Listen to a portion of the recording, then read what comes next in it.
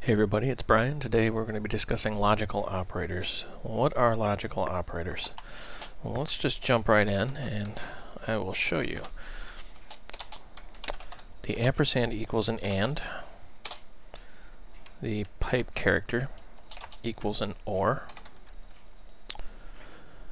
And let's see here, the exclamation equals NOT. There is another one. Um, it is the caret equals XOR or exclusive OR. Now what do these do? Let's cover the AND first. AND's the easiest to understand. We'll say int x equals 0. Hope if I could spell it. And int y equal 1. And you say if x equals 0 and y equal 1,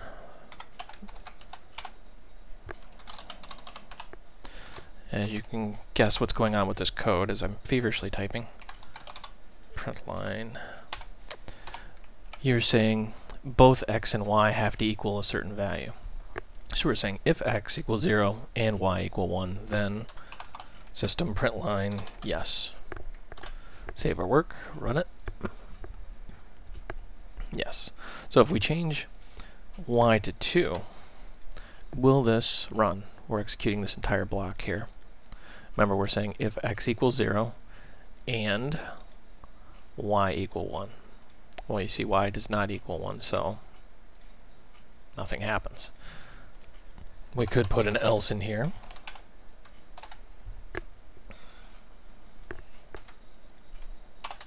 And that way we can see exactly what's going on. Uh-oh. Errors exist. Hmm. What errors do I have here? Oh, I see what's going on. I have an extra one in there. You can see no. So that is the AND statement. Now the OR statement is we're saying either one of those can be true. x equals 0 or y equal 1. I'm just going to tick always save. There we go. So yes. Why is this saying yes? Because x is 0. It says x equals 0. So it doesn't even go any further. It says we've already satisfied that expression. Now the not operator is very simple. Let's just do if x, and we'll say not equal 5. If x not equal 5, then print yes, otherwise print no. You can see x is 0, so guess which one it's going to do. And it says yes. So what you're really saying is not equal. Remember, two equal signs mean equal. Exclamation equal means not equal. And one thing you should remember that is if you just do x equals, you're actually assigning the value to x. You're not actually checking the expression. So there's no. x is not equal 5. If we switch this to not equal, then yes. So that's how the not operator works. Now the XOR, XOR is a little confusing to me. Um, it's all about bit shifting. I'm not really going to cover it because I A, don't fully understand it, and B, I hardly ever see it used out in the real world. So um, really, I'll try to cover the syntax, but bear with me here. We'll just simply say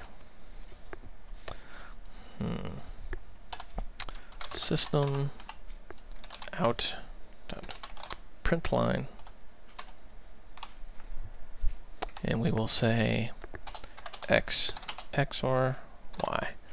Whoops, help if I actually put that in the brackets.